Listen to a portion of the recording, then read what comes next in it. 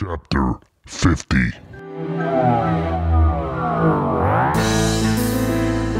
You are now listening to the chapter of the Architech with DJ Architech.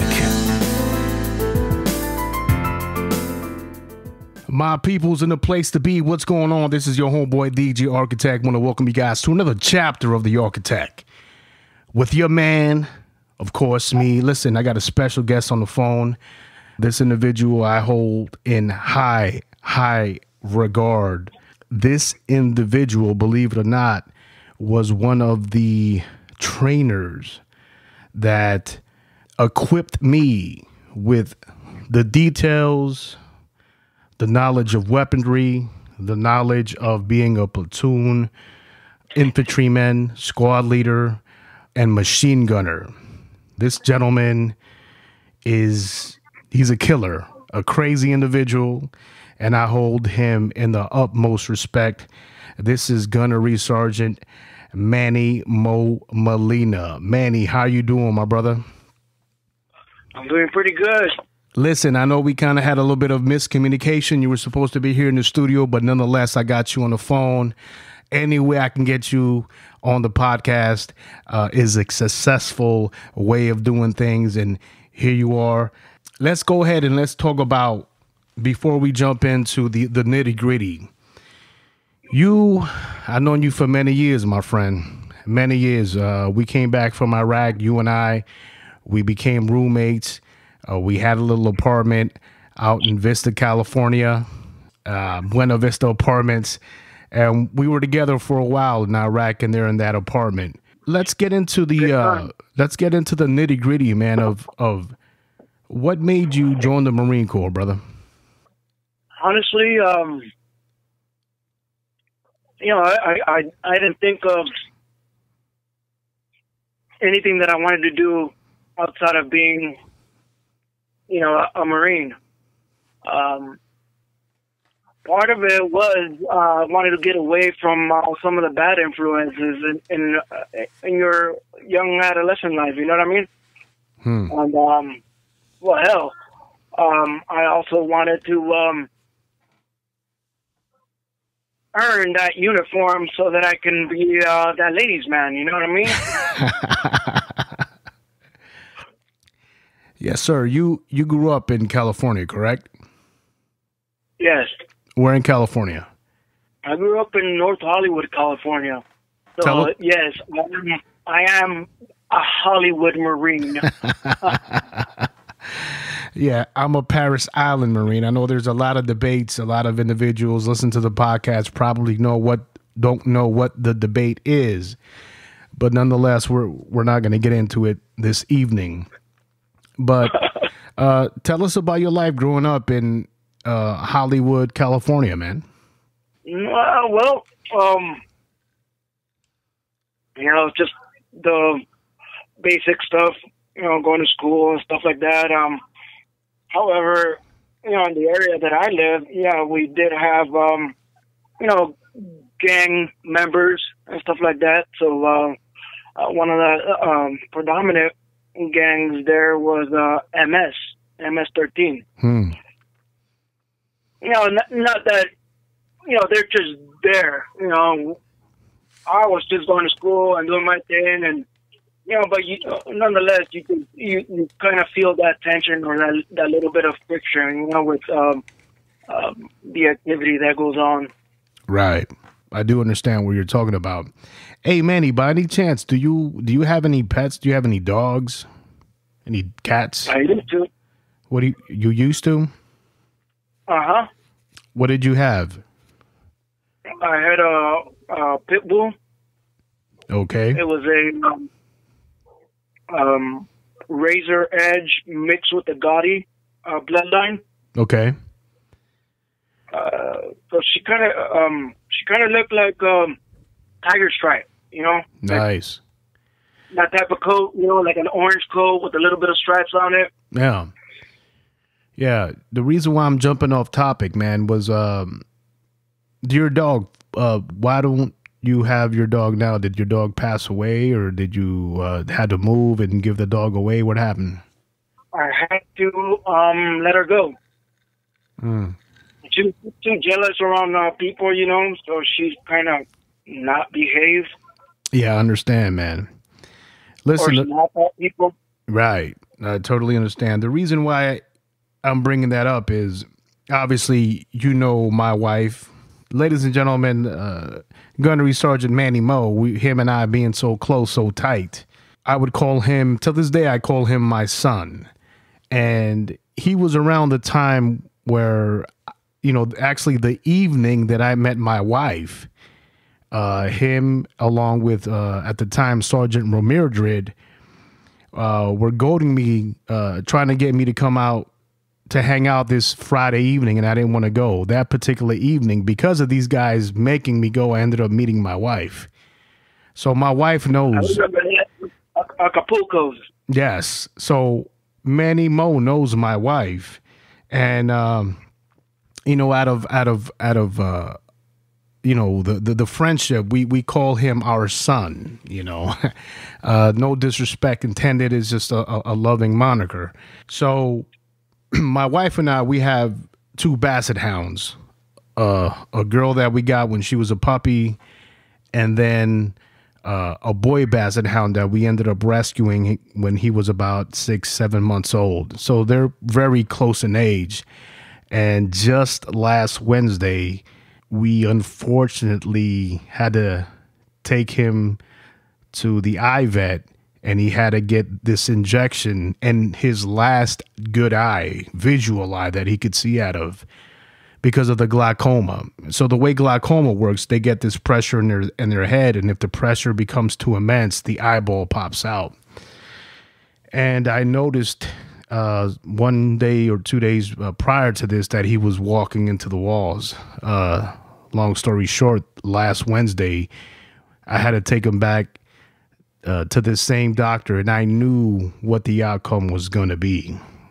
And uh, you know, we we had went to go see her on Monday. She gave us all the medication for the dog.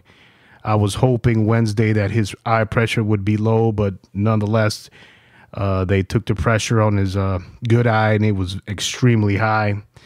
And I'm looking at this doctor, and she's looking at me, and I I could see that it's probably going to be the same procedure where they're going to freeze his good eye uh, to relieve the the pressure, but with doing that, uh, he's going to go completely permanently blind. And I said to her, Doc, what other options do we have to save his vision? Money not being an option. I mean, don't worry about the money. I want to save this guy's last good eye. And she said, unfortunately, because the pressure is so high, uh, we have to do the same uh, procedure and he's going to become permanently blind. And right there, I, I, my soul shattered and I had to call my wife and we agreed. And, uh, you know, she says, I'll, we'll give you a call in about four or five hours for you to come pick him up. And on the way home, bro, I'm a grown man, you know, to combat tours to Iraq. And on the way uh, home, I left them there with a with the doctor, man, for her to do the procedure, knowing that my dog was about to be completely blind, and I break down, man. Listen, it, it, it, there's nothing more sad than uh, knowing your dog is about to be blind. Uh, the only thing more detrimental, I would say, is when you have to go to the doctor to euthanize your dog because of old age or whatever have you, man. But it's crippling, man, and it's crippling. And and uh, I want to thank all the friends that I reached out to and asked, you know, hey, man, tips and recommendations. Have you ever had a situation like this? How'd you get through it? But it's it's heartbreaking, man. It it really is heartbreaking. And and and you know, my dog's name is Droopy, Droopy Dog, the Basset Hound. And uh, I just I just wanted uh, to let individuals know, man, if they're ever in that situation where your dog is is going blind or he's up in age, what I'm finding out is they're pretty resilient. You know, us as human beings, we take it a lot harder than they do. Uh, but I just wanted to give my dog, Droopy Dog, a big shout out, man, and uh, and tell people, man, that if your dog is is going blind, just give it some time. They'll figure uh, their way around the house. Just don't move furniture around left or right. Just keep it where it is, and and they're gonna be okay.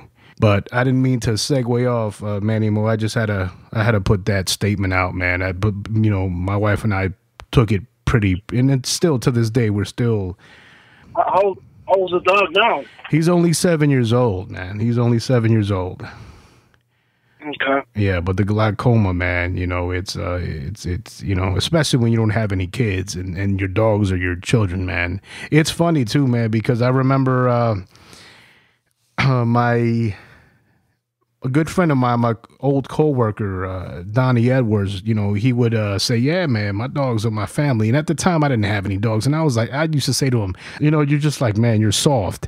But because of him, I, I you know, I got my first dogs, and uh, believe me, man, they make your life so much, uh, much more rich. Uh, it's unconditional Actually, I, I, had, I also had a bulldog. Her name was Kona, and Mm. uh, you know what? Them bulldogs, they're they're they're something else, man. You definitely need to take care of them. You know, they have a lot of problems too. They have a lot of breathing problems, right? Because of their short snout nose, correct? Yeah, breathing is one of them. Um, but also the wrinkles. You know, they they get um uh, uh, like uh, what's it called? Um, they get jagged. You know, Hmm. so they they yeah, so they uh, uh, you know from their skin rubbing on those uh, on its own wrinkles, and then eventually you know it's so shaved that um uh pus starts coming out. Oh, no way. Yeah, and and uh, yeah, if you if if you don't like take care of it, then it it just you know Yeah, Um, they can they can become infected. mm, yeah not only that, but it, it kind of smells a little bit, you know. Right. So you have to keep that area clean. Yeah, absolutely.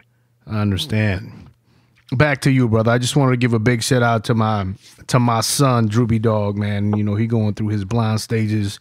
Uh, but you know, I gotta be grateful, man. My wife and I have to be grateful he's still alive, and we're gonna take care that little basset hound uh, to the best of our ability until the day comes. So here you are, a young man living in North Hollywood, having the the gang life surrounding you. You know you have to find some kind of escape to get out of this situation. Manny Mo, Gunnery Sergeant Molina, why the Marine Corps? Why not any other branch? Honestly, you know what? I was shooting for like being, uh, you know, special forces, sniper, recon, something like that. You know, Mm, because obviously you know, we all see the commercials and everything like that, and you know, it, it, it definitely looks like um, adventurous and and and all of that. Um, until you actually get into it, and then you're like, oh shit, you know. Um, in my case, you know, I'm I was shit. I, I went in not knowing how to swim. yeah, but Yeah. you know, but surely the Army has Delta Force, Green Berets, Navy has uh, Navy SEALs. You know, uh, Air Force has the PJs. Why? Why the Marine Corps? Because the Marine Corps stood out more to me. How so? And not to mention, How so? not to mention, um, well, you have the uh, the the uniform. I remember just talking to the recruiters because they were more proactive than my school and stuff like that. Right. I guess I, I saw myself more of a Marine than in any other branch. Hmm.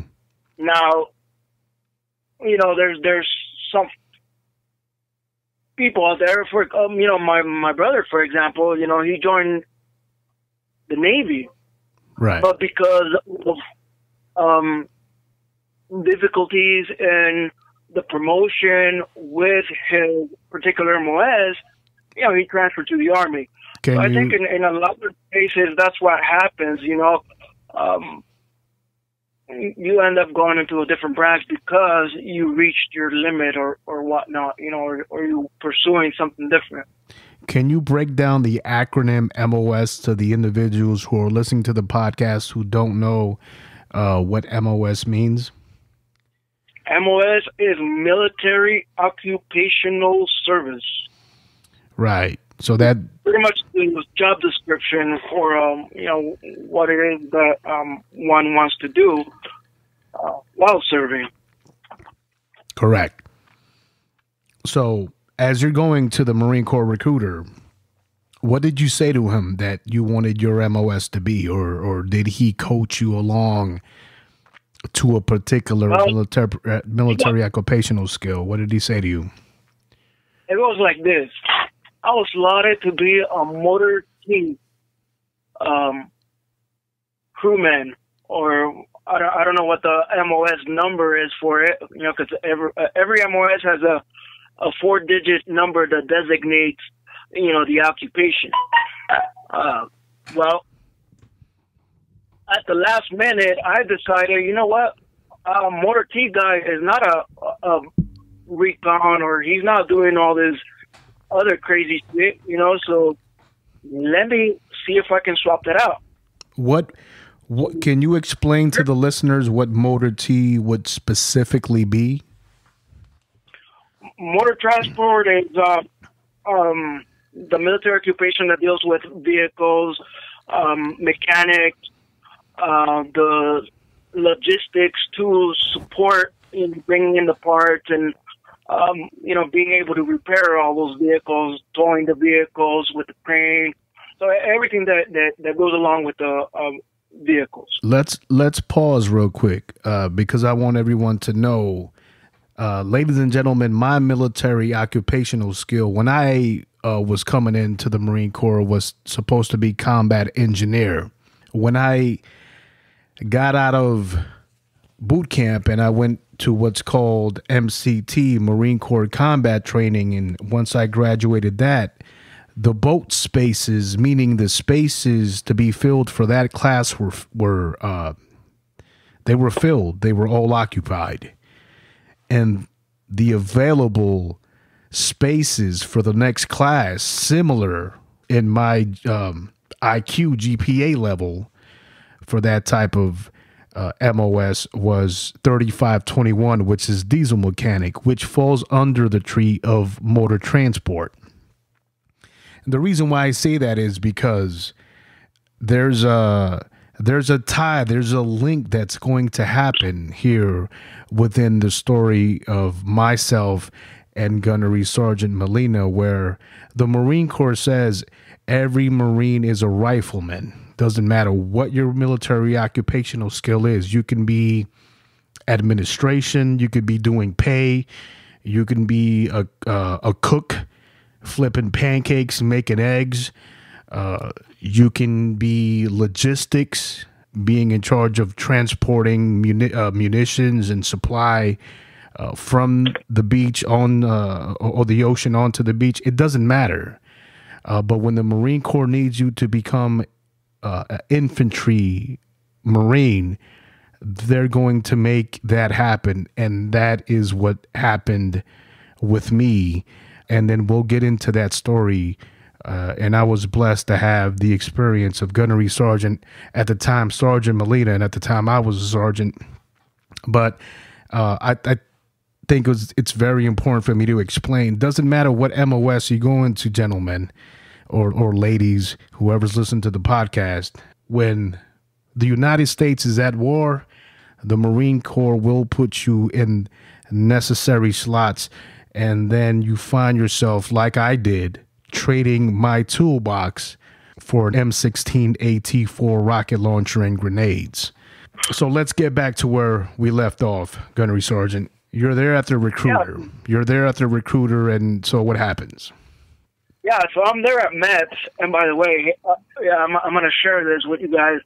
Um, yeah, so we're there, you know, and, and I'm uh, on 17 year old kid, scared. I'm scared, you know, because I'm like, oh shit, I don't know what the hell I'm getting in, into, you know.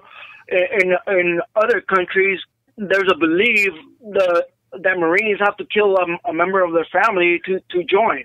Mm, yeah, it's know? that that hardcore, huh? Yeah, yeah.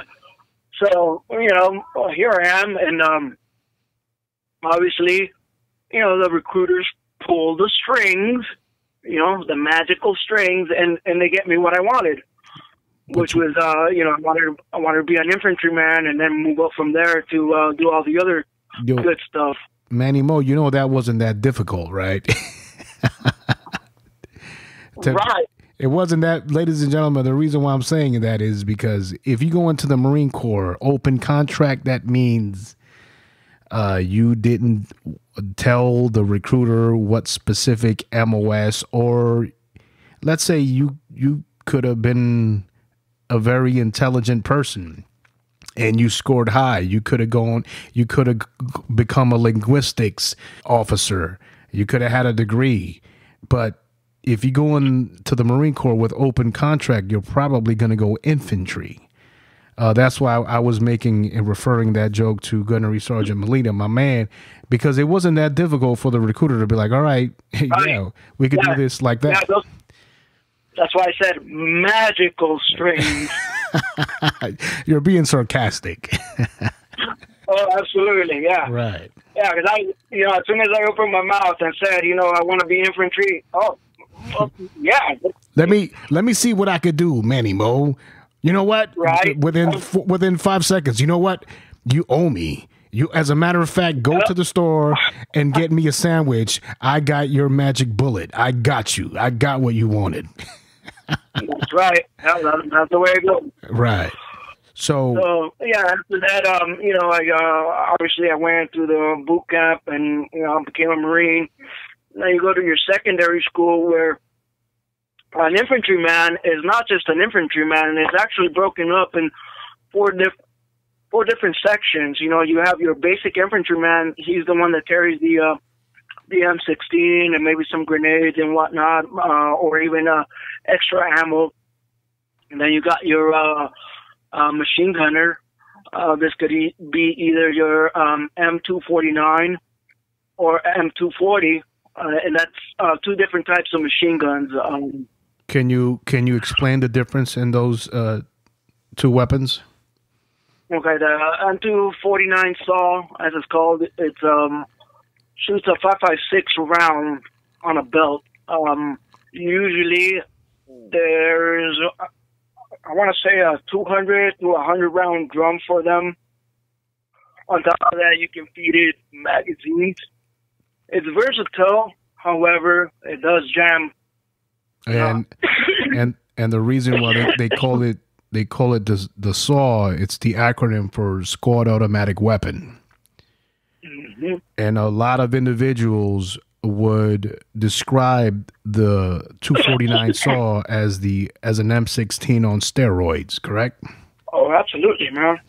It's called the well, the the, the acronym, you know, gives it its name, you know, because I, so many rounds go through that thing that yeah, you can shot sh- stuff, you know, Pretty easily, pretty easily. hmm And then you have the 240 Golf, which shoots a 7.62, correct? Yeah, so it's a bigger caliber uh, machine gun, you know, so it's going to create a lot more damage. Now, before we move on, when I'm, I'm going to be jumping a little bit back and forth, but as we're talking about uh, machine gun weapon systems, us being uh, bless you, bless you, us being in, in the Marine Corps when we were in uh, Iraq, both OIF one and two, the Marine Corps we would carry 240 Golfs or a 50 caliber machine gun or you would see a, a Mark 19, which was a machine gun that shot 40 millimeter grenades.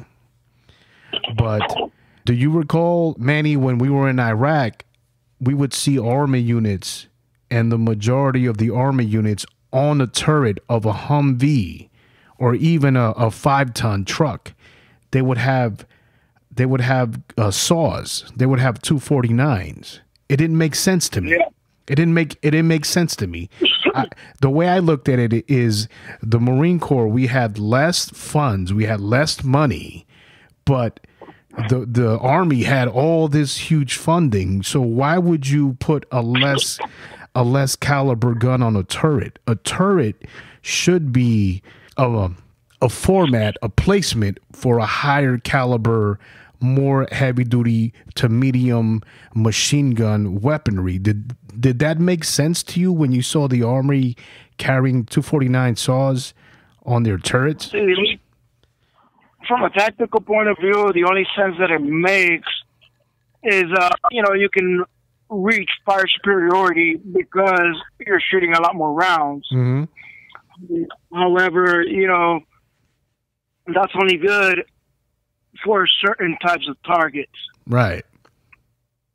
When it comes to medium armored vehicles, you're not going to do. I mean, that's, ladies and gentlemen, a 249 saw is utilized. It's a machine gun that you would go on a foot patrol with. Yeah, it's more for personnel. Yeah, it's more more for personnel assault uh, instead of uh, mechanized or vehicle motor transport assault, and it didn't make sense to me. The, it- and that's what made me realize the army. It- and the only reason why I'm saying this is because every vehicle that we saw had a 249 saw. And we were car- I, know I was I was manning um, even as a sergeant uh, I was a machine gunner and uh and a squad leader but I was manning a, a 240 Golf which shot a 7.62 uh, but every vehicle that we saw in Iraq was you know had the 249 so it didn't make sense to me. Well, um, hell, who knows what what their uh, thinking is on that one? You know. Right. So you end up getting out of boot camp. You go to SOI. Can you give us the, the acronym for SOI? SOI, School of Infantry. Well, when you go to the School of Infantry, you know, we talked about the the different um, types of uh, uh, infantrymen. So then you get designated. Once you go to the, the basic infantryman portion, then you get to, uh, well, it's kind of like the bulk spaces, you know? Right. Um, yeah, so they choose the other MOSs for you. So there's uh, your mortarman, your assaultman, your machine gunner, right. which I was an assaultman um, to start. That's uh, 0351.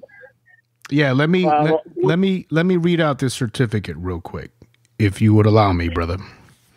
Yeah, go ahead, bro. It says Infantry Training Battalion takes pleasure in presenting this certificate to Manuel E. Molina, certifying that he has met all requirements and has successfully completed the curriculum prescribed by the Commandant of the Marine Corps, anti tank assaultman, given at the School of Infantry, Marine Corps Base Camp, Pendleton, California, the first day of May 1998.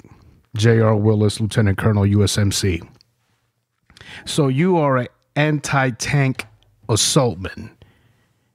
Yes, sir. Sounds badass. Sounds hella badass. Can you tell the listeners what that job title entails? What is your job? an anti-tank assaultman, right? Um, we get different types of trainings with explosives, rocket launchers. Um, if you guys ever seen, uh, you know, um, Private Ryan, uh, it, back in those days, uh, 0351 or an anti-tank assaultman was the uh, the um, the person carrying that uh, flamethrower Hmm. or the Bangalore torpedoes, which we still use to this day. The um, you know, it's just an explosive that's in a linear form, and uh, like a, a tube, and you attach multiple tubes together, um, and you push them through a line or a minefield that you want to, uh, you know, go through. So once it blow detonates, it's gonna clear that wire or or um, mines that that are in that uh, that path. It's like a line charge, correct? yeah, yeah, uh, yeah. But uh, you know, Bangalore torpedo is more of a smaller uh, type of device.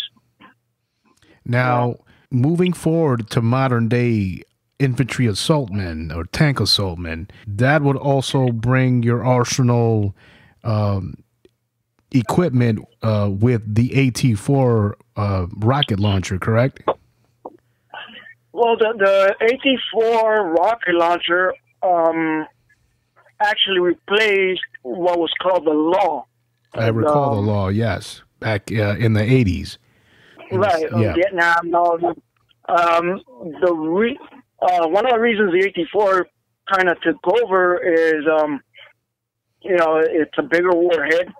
Obviously, you know, it's uh, I think it's an 83 millimeter uh, rocket, and also the um, well, the, the 84 is, is not just for assault men; it's for basic infantry men. Basic, basic infantry. hmm Yeah, which you know everybody, you know, like you were saying, you know, you go into the Marines, everybody's going to be an O three hundred because you're going to be qualifying with that rifle. Right.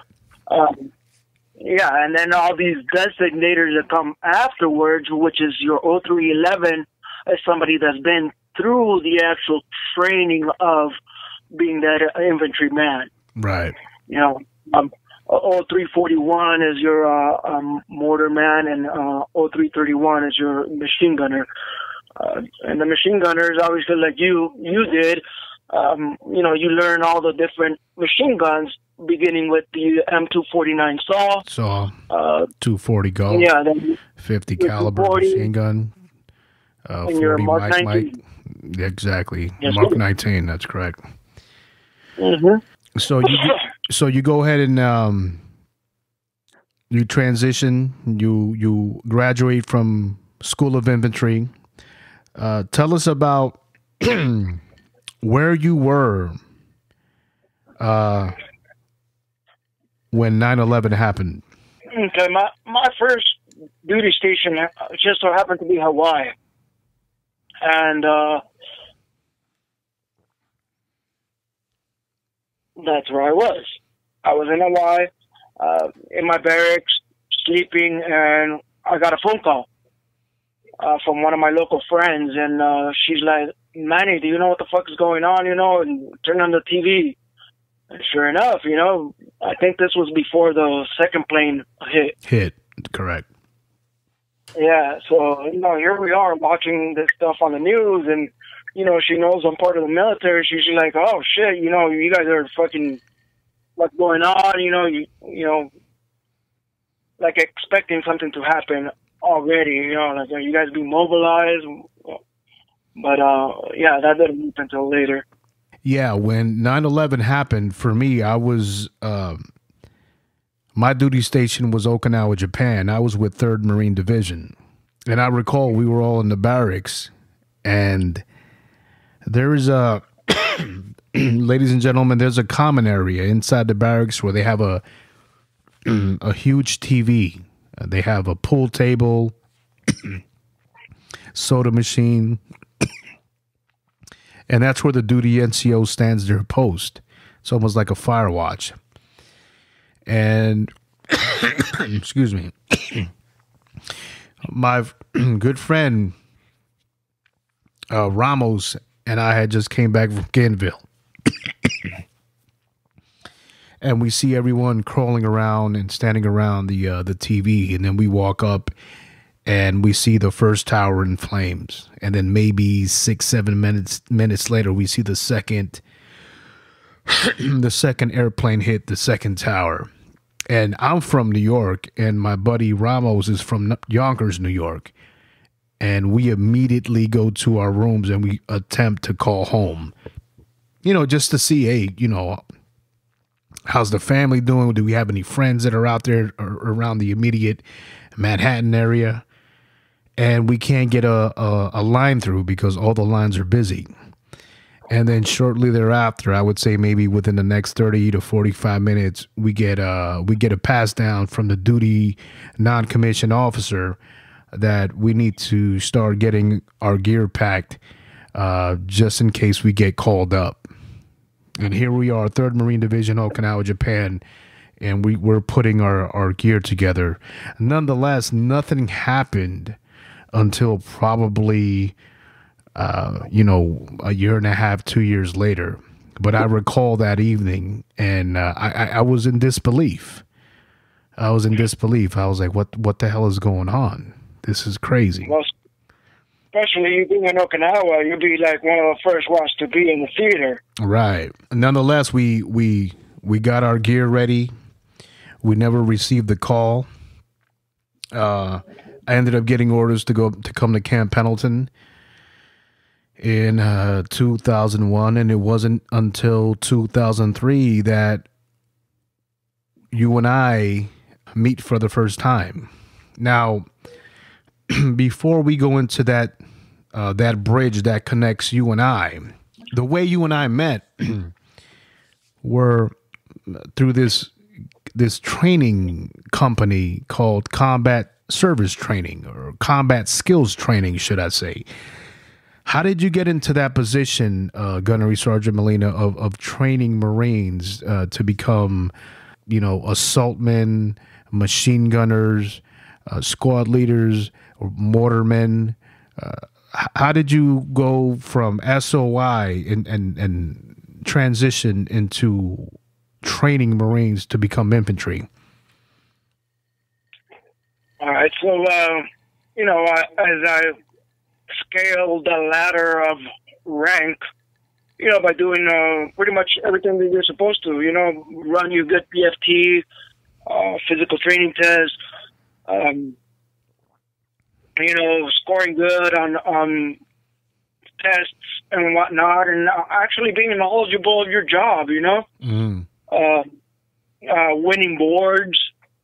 So Can- I, I, Can you can you explain to people what winning boards is? Because they they're going to be clueless. okay, a- board is pretty much an evaluation of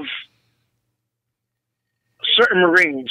So um, those Marines get nominated by um, their their platoon, okay, or their their team or Or their- squad. Or their command. So at the- it starts at the small unit level. hmm Okay. So then once they get selected, they go and compete with all the other Marines that were selected as well. And they go up to what is called a board.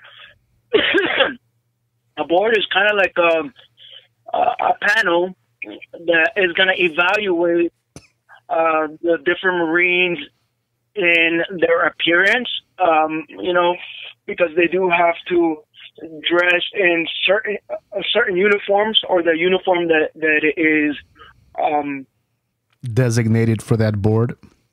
right requested at the time know, Right. for that board. So you know if it um, let's say an alpha, alpha uniform and you know candidate number one is excellent you know with his knowledge and everything else but his ribbons were all jacked up or out of order or something you know because there's marines always look at the details That's correct. you know, and they train, they train you to do this, you know, uh, from boot camp. You know, it's like Irish pennants. All right, you know, you can't have any of those. Ladies and gentlemen, Ir- Irish pennants is when you have a thread, a thread that is just dangling off your uniform. You cannot have any threads of nylon hanging. Those that's what is Irish pennant. And what uh, Gunnery Sergeant Molina is saying, they also inspect you on your uniform. Uh, they make sure that your um, your trousers are properly pressed. As a matter of fact, they put you in a position what's called parade rest, where you have your hands to your back, small of your back, and then you have both of your feet spread. And what they're looking for is to see if there's any wrinkles within the inseam of the trouser. Um, Not only that, uh, I mean, that the the trousers themselves can only be um, so high off the sole of the the shoe. That's correct. And, Otherwise, and then the alpha blouse belt can only be three to four inches in length. It's funny because Yeah. there, there was a there was a, a movie that I just saw just several days ago where there was an individual playing a marine and his alpha blouse belt went all the way to the small of his back like almost to the small of his back and i was like who the hell did they get to represent um as a Marine Corps representative for you know to give details for this guy's uniform, man. That is unsat. Um, so yeah, so you know, I, I I'm what. I've heard about this mm-hmm. um, is that that's that's the way that Hollywood can portray um, Marines is by if you ever notice most of the uniforms that are worn there's something always off, Off. with that uniform. Right. Yeah, It's funny because I'll see something extremely awful. Um, like there will be an alpha blouse, which is in, ladies and gentlemen, it's a olive uh, green colored coat, and then they'll have uh, they'll have blue Marine Corps blue chevrons, which is a red and gold uh, chevron on that green, uh, and and you're not that's incorrect.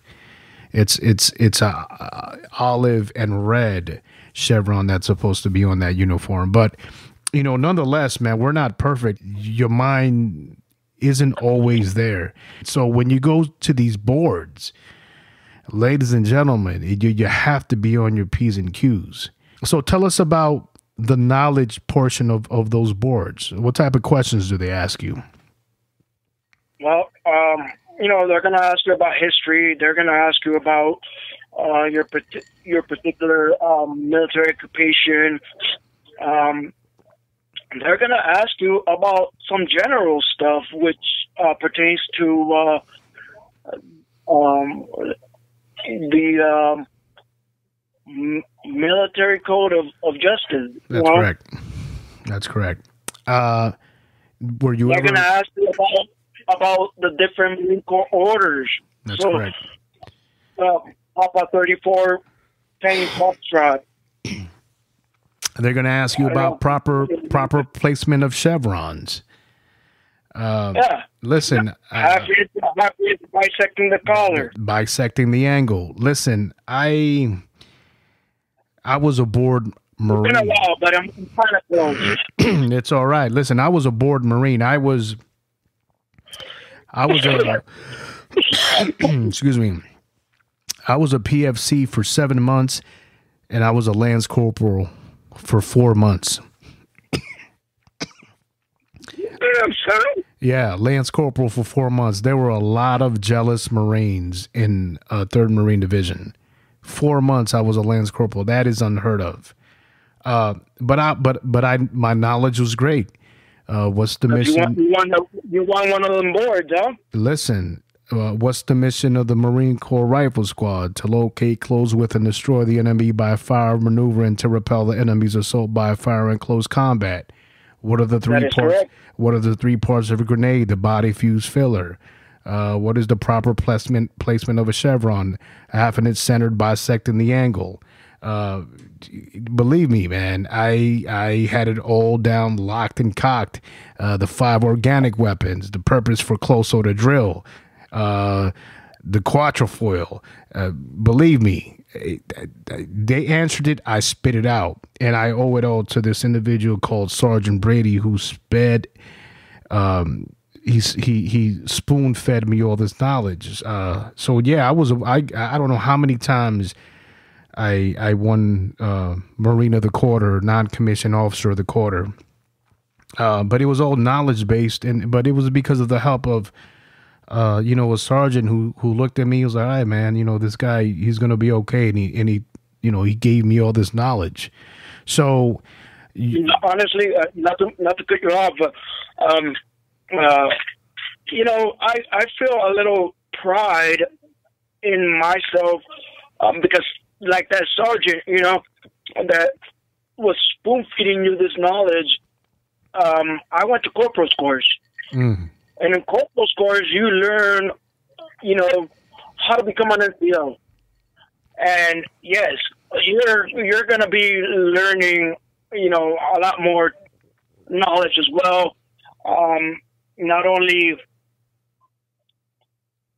uh, you know, his historical wise, but also, you know, like in drill and and all this other stuff that you use on the day on the day to day. you you- know what I you know what I enjoyed about course corporal's course was that it taught me uh, the the manual of of handling a sword to present Okay, sword. manual, That's correct. rifle manual. That's correct. How to march a platoon in an effective, correct manner. You know, the, the, and and the blacks and all that good stuff. went to call it so that it can be properly executed. All all that good. Stuff.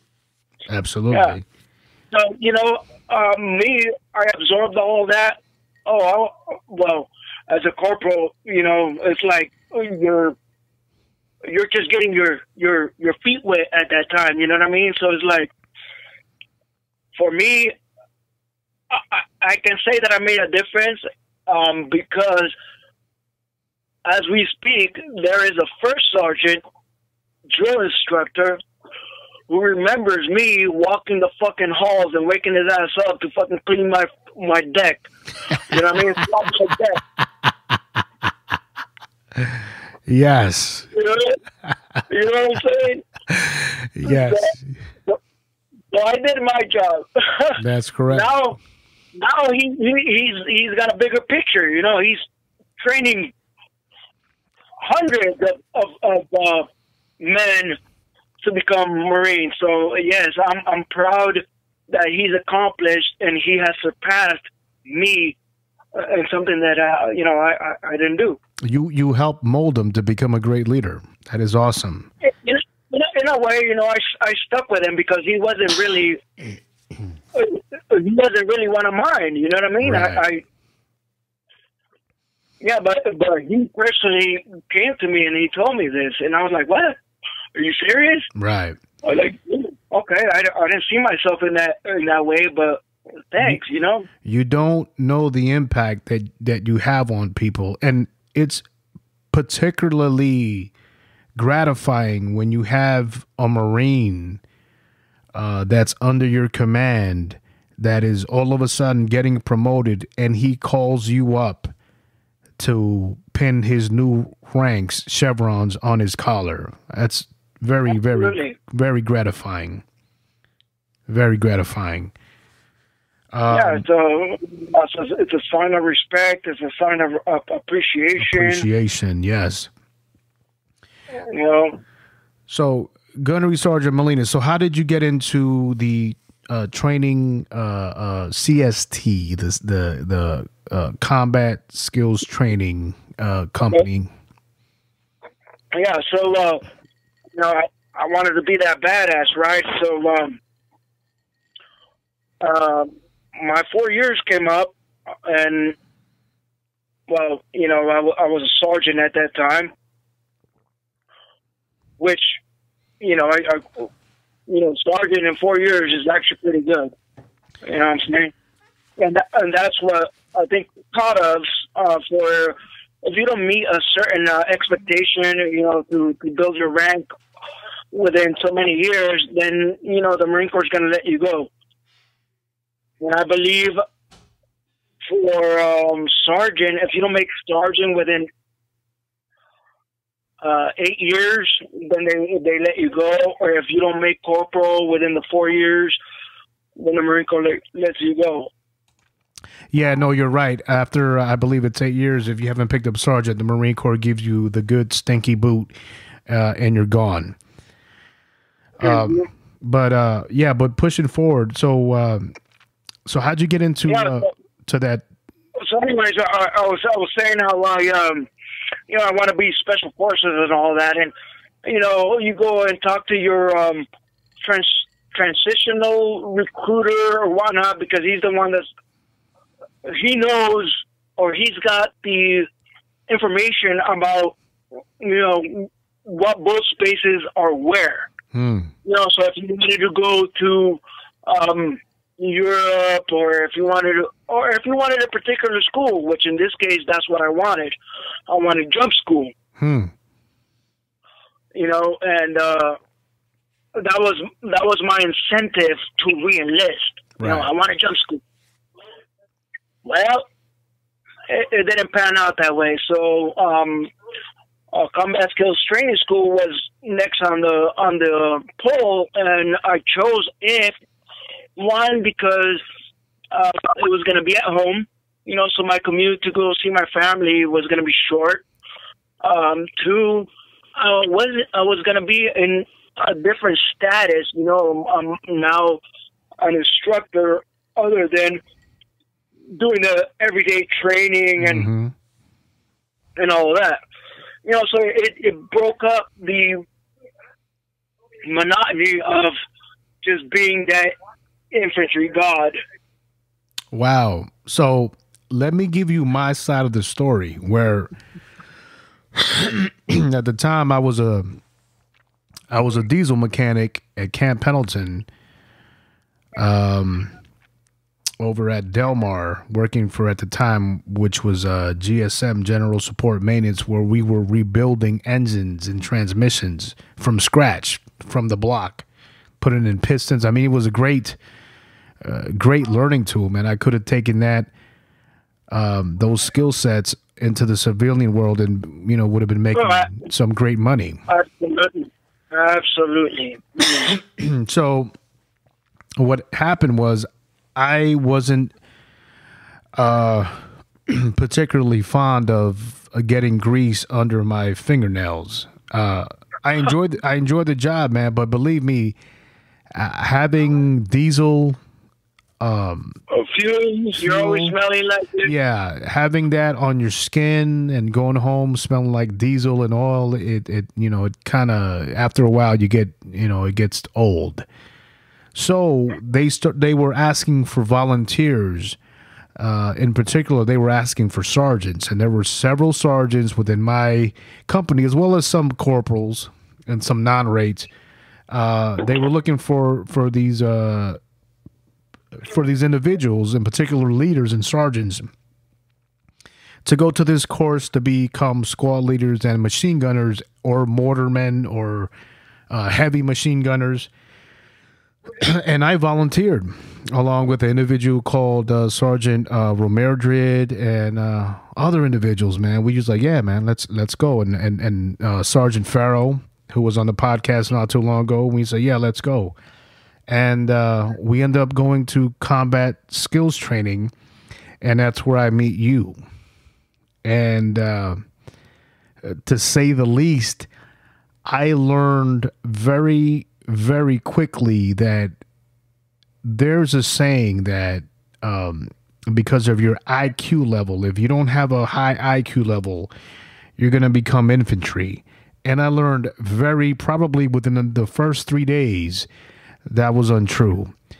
You have to have you have to have uh, a bright mind to be an effective infantryman, squad leader, machine gunner, uh, mortarman, uh, and specifically to call for fire correctly with the correct uh, with the correct coordinates.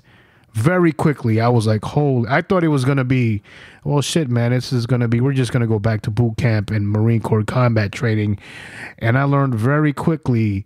You had to know your shit to know the precise beating zone of a machine gun uh where where people don't even know what the beating zone of a machine gun is ladies and gentlemen when you press the trigger the a machine gun is fully automatic when you press the trigger of a machine gun the machine gun has a natural beating zone so uh, let's imagine it's a it's a it's a circle eight but it's vertical It has to do with the trajectory of the round. that's correct. And there's a natural point within the center of that beating zone. That's the sweet spot.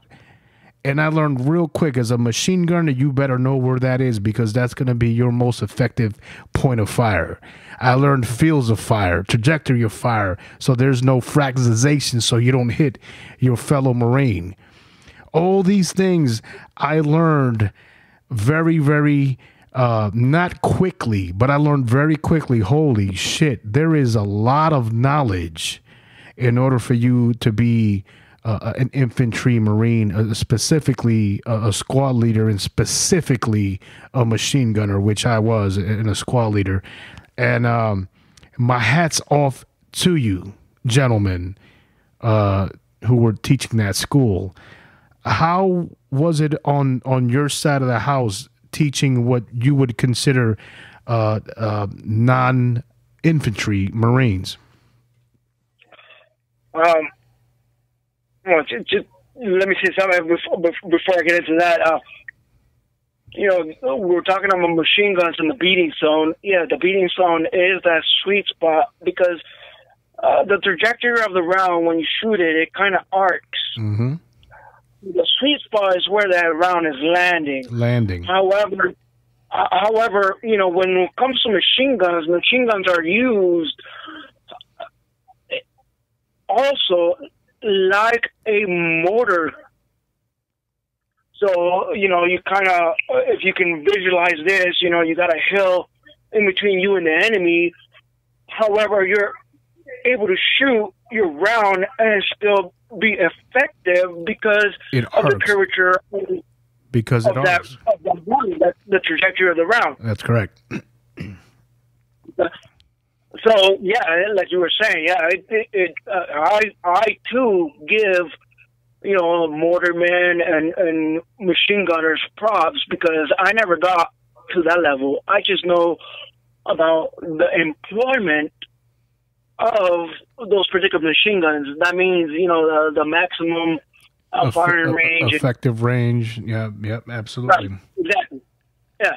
And then how, how do you employ them? Obviously, you want to set them up where the enemy is most likely to approach. Approach. You. That's correct. And then, and then that, ladies and gentlemen, there's such a thing called as uh, talking guns. Yeah. So, so you're in a lot of fields of fire. Right.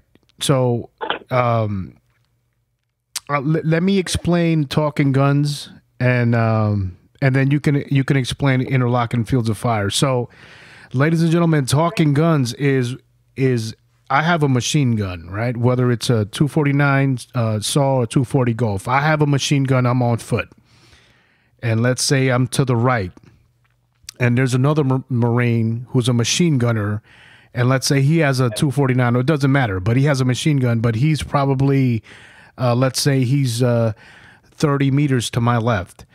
Now, our job is to suppress the enemy. So what will happen is we'll designate who's going to shoot first. I'll look to the left. He'll shoot first, and he'll he'll do a, a, a spat, and it'll go. Brrr. The moment he pulls the trigger, he stops pulling the trigger. I pull my trigger. Brrr. The moment I stop, he pulls. Brrr. So you'll hear. This is what you'll hear. And those are called talking guns. And the reason why you do this is because you want to keep the enemy's heads down. And the reason why you want to keep the enemy heads down is because you have a fire team. And the moment that that the enemy's head are down, your fire team is now rushing, and they're called fire team rushes. So you'll have four fire teams within the squad, and the first fire team will say, "Okay, first fire team ready to rush, rush," And as I'm shooting, the enemy, my beating zone has to be precise to keep those enemies' heads down. So now that first fire team goes. Now that second fire team may want to do a hook position. So now they're trying to outflank the enemy. And then that third fire team will continue to go forward. And then we continue to do uh, talking guns until that second fire team can go can come to their side and outflank them and hit them from the left or the right side. Now that machine gunner to my left also has another four fire teams on his side, and they're attempting to do the same thing too. So we overwhelm the enemy by firing close combat. That's what fire talking guns and fire team rushes are. Now, if you can go ahead and explain interlocking fields of fire Manimo. Right. Also, with the talking guns, um, you know, because one gun is going uh, at a time. If you needed to reload, that other gun can pick up the slack. Yes. So you can. He, he'll actually have to fire at a at a much higher of rate or a much longer period and for two purposes, Manimo. Let's not forget. Sometimes, uh, you know, the the barrels they do get hot, and you have to switch out barrels. Right. So it allows you to uh, exactly. barrels as well. Correct. Correct. So let so go ahead and explain interlocking fields of fire, if you will. So the interactive field of fire has to do with um, um, creating pretty much like a, a crossfire between your machine guns so that you cover the most space um, that you can. You know, depending on the area that you're covering, of course. Um, and you know, like we've talked about, yeah, you want to place, you know, your heavy uh, guns, machine guns, in the enemy's most likely avenue of approach. hmm Uh, so, you know, so you you want to put your big guns where the roads are, and then you want to put your other guns to where you know the infantrymen might might be coming to or whatnot. That's that's pretty much your your interacting field of Field of fire, fire. and usually you you want to have that if you're covering a perimeter. Let's say um, the perimeter is five fighting holes. Mm. Let's just make it simple.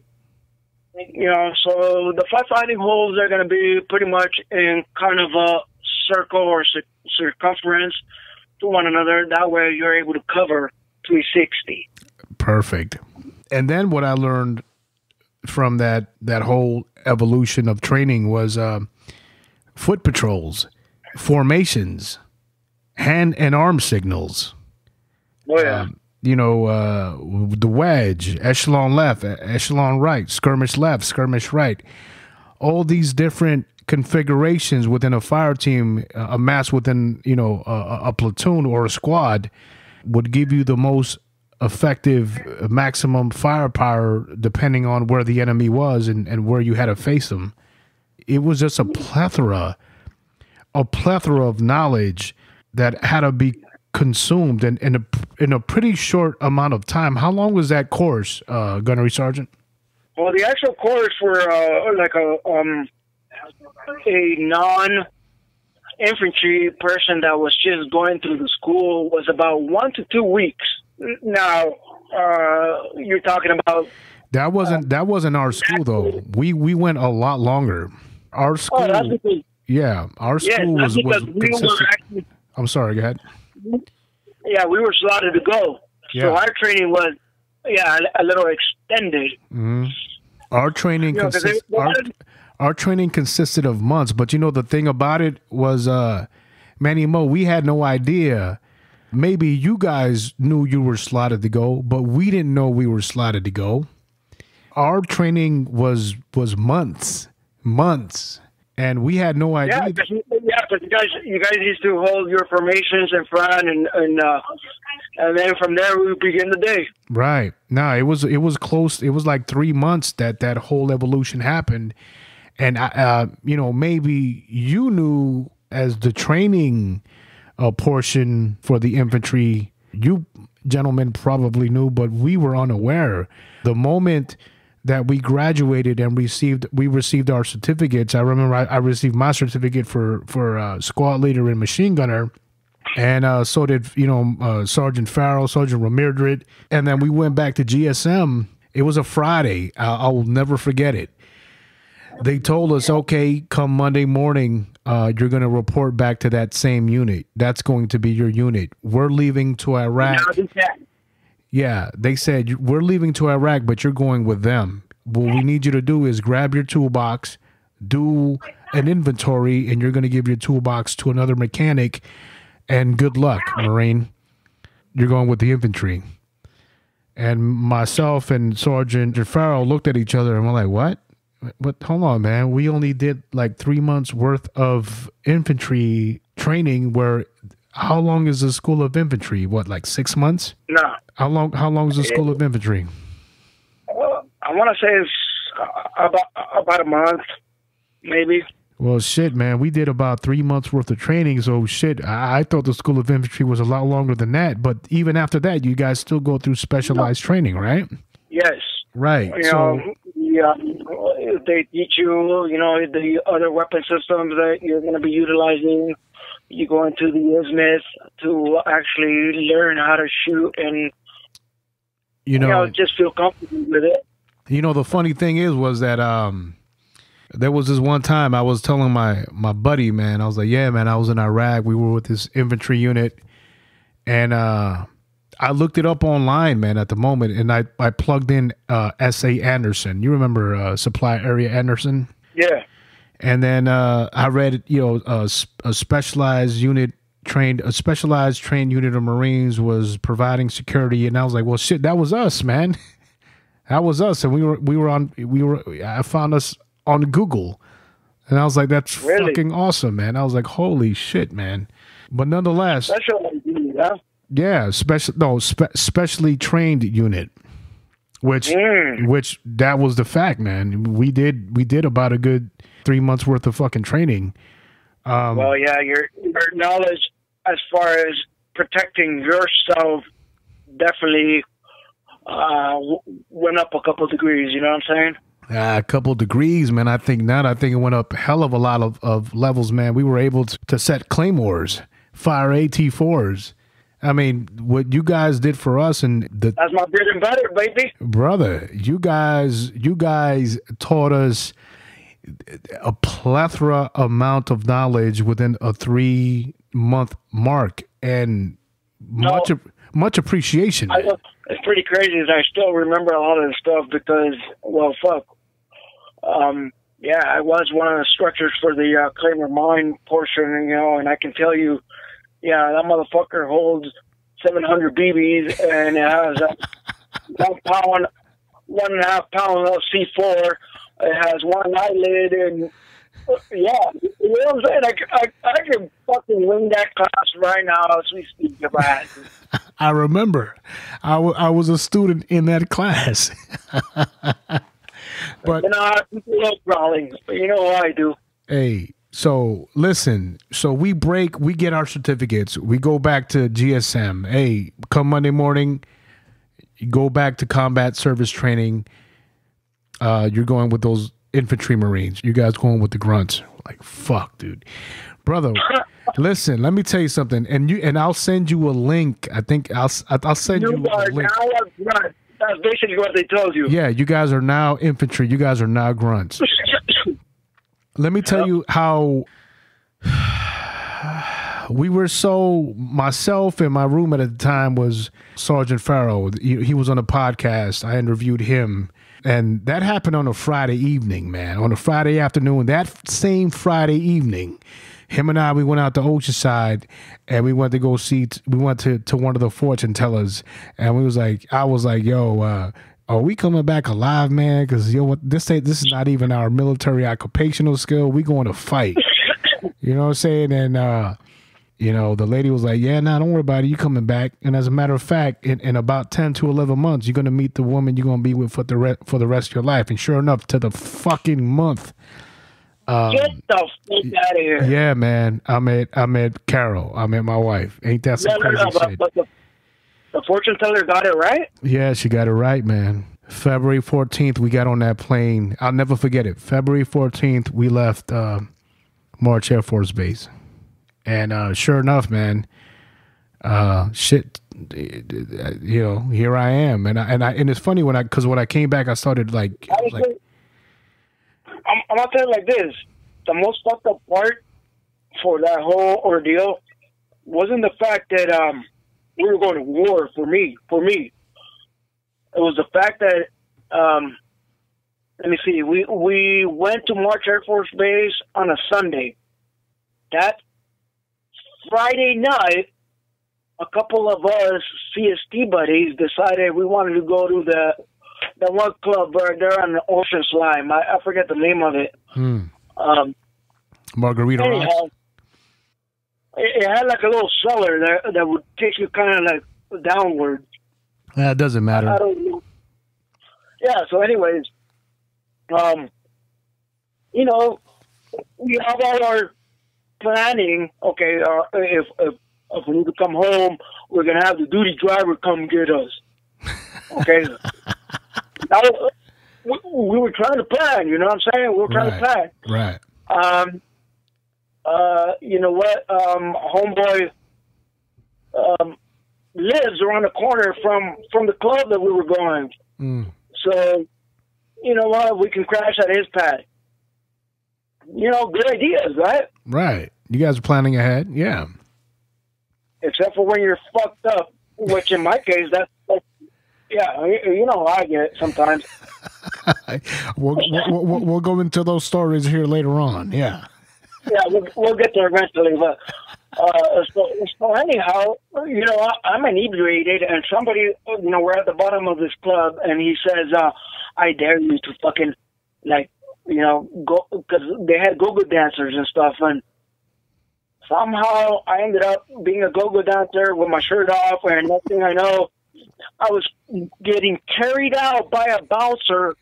I'm talking about I'm talking about carried out. Like my foot, my feet were completely off the ground, and this guy was carrying me. You know, you pick up pick up kids by the elbow sometimes. Yeah. That's how he grabbed me. So I kept on my feet, and he carried me all the way up the steps, kicked me the hell out. yeah. So then, so then, uh, you know, we're like, all right, let's go to the dude's house we go to the dude's house and we ordered burritos, from, burritos and all kinds of shit from uh, uh, that one spot right there. On, uh, uh, you know which one I'm talking about. Alberto's or one of those spots. Yeah. Eddie Yeah, Berto's. Yeah. So, so you know, everybody gets something to eat, and I start getting the uh, influence. Hey, come on, man, let's go, let's go, come on, come on, let's go. Mm. And um, yeah, so I ended up, we ended up leaving, and sure enough, I got busted. I ended up spending the night in jail. You got you, you got pulled over uh, driving while under the influence. Yeah. Yeah. Well, I spent the night in jail. I'm there the next day, and uh, you know, somebody from from from our unit has to come get me now. Mm. Uh, one, we're getting ready to fucking leave the next day. You know what I mean? So if I would have stayed there any longer, I would have been a deserter. Ooh, shit. No, that's missing a movement, man. That's missing a combat movement. Holy shit. Right, right, right. So uh, it was Staff Sergeant Dixon. He came and got me, and uh, you know he was kind of understanding. You know, Mm. it happened, but still, you know, like, fuck, why did it have to happen? Like, Right. we had we had A, B, and C, except for D, which is me getting behind the wheel. Right. So I fucked up. You know, I fucked up. I should have never done that. You know, no matter who tells you, hey, you know, fuck, let's go, blah, blah, blah, whoop de woo. You know, we were good, we were, were. Right. Um, but yeah, I, I was, you know, drunk, so I, I, uh, made a wrong decision, which, you know, held me back from, uh, actually, um, you know, building myself up faster than, than I did. Yeah. You know, because at, at the end, you know, I, I still made it to gunnery sergeant in what, 12 years. Yeah. No. Yeah. I understand. So uh, you know, I, I, you know, you have your Marine Corps um, leadership traits, and I do live by those. You know, know yourself, seek self improvement. Yes. The acronym is JJ Did Tie Buckle. Judgment, justice, tact, initiative, enthusiasm, Oh, uh, a, uh, ain't what it? dependability, initiative, enthusiasm, bearing on selflessness, courage, knowledge, loyalty, endurance. Absolutely. Yeah. Absolutely. Listen, yeah, I do recall the next day, man, because you and I, by that time, we were pretty tight. We were pretty close. And I remember you coming to myself and Ramildred and you and you told us, hey, look, I just caught a DUI last night. And we're like, yo, man, well, fuck it. Did they let you out? Yeah, you're here. Well, shit, man. Put that shit behind your back because, buddy, we are going to war.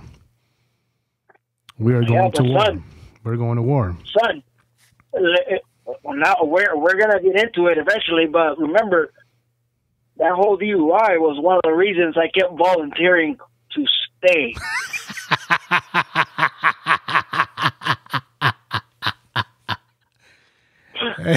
Yeah. Yo, I wanted to avoid, avoid it like the plague, and you know what?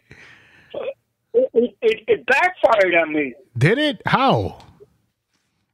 because the way I see it now is like, you know what? I, I got the DUI, boom. The war's still fresh, boom. You know, I go back, they're gonna feel some type of way, and maybe they'll let me off, you know, good Right. or easy.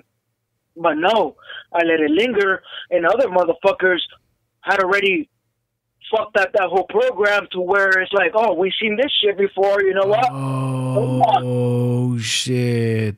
Yo, that's fucked up. I understand your point of view of how you're like you kind of wanted to to pull the strings of sympathy. Right, like- right, right, right. Yeah, Yeah, yeah. let me stay out of like you know, let me fight the good war and all this. And uh no, Yo, that that's Dan. that's fucked up, man. I, I'm sad it didn't work on your behalf, but uh, I mean, obviously, we'll we'll talk about it here uh, here moments later. But yeah, there were several Marines that decided to extend and stay. Uh, you were one of them. I was one of them. Sergeant Ramirez was one of them.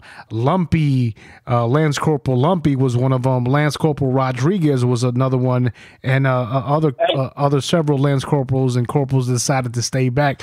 I decided to listen. I remember. Listen, we were at Camp Viper in Iraq, uh, and I remember they came up to me and they Sergeant Lopez. They're looking for volunteers to train to help support another security uh, company, another security platoon up in Al Diwania. For whatever reason, they they needed manpower and uh, they needed training and they needed they needed men. And um, I remember I was sitting that's there. when we augmented them, huh? Yeah, I remember I was I was at like Viper 1 or Viper 2. It was a listening and observation post. Ladies and gentlemen, a listening and an observation post is this. So if there is an encampment of of Marines, that's like your major body of of Marines or soldiers. So what happens is they shoot at a 360 perimeter. They shoot four Marines out, 360, right? And they give you water, they give you ammunition, they give you food, they give you a two man tent, they give you night vision goggles, and then you're like three miles out uh, away from the major encampment of the military occupational force. And your job is to 24 hours a day, you are the fire alarm. That means if enemies are on approach, and if I'm Viper 2 and if I see enemies coming, I I give out what's called a salute report. That's size, activity, location, unit, time, and equipment. I'm supposed to give out Before you that I'm supposed to give out that information the moment I see that enemy coming my way. I'm on the radio. Uh, Viper 2, Viper headquarters, uh, or Viper headquarters. This is Viper 2. We have blah, blah, blah, blah, blah, blah, blah, blah coming our way. And I always, I always told my Marines, hey, man, if it's a mechanized unit, we are fucked. So run. We can run three fucking miles, motherfucker. The moment we can spot them, let's bring it out. Let headquarters know, hey, we have mechanized unit coming our way.